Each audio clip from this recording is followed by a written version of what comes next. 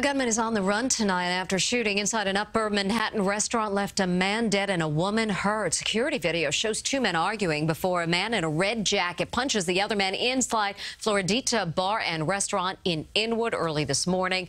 The man falls to the floor before another man takes out a gun and starts firing. Pictures from inside show the aftermath, flipped chairs and tables. A 28-year-old man died. A 58-year-old woman believed to be an innocent bystander was shot in the leg. The restaurant is a popular late night hangout spot open 24 hours. I don't know why you come into a restaurant with a gun, but, you know, and, and this could happen anywhere, so we ask owners to pay attention. Police are trying to identify the gunman. It is unclear what started that fight.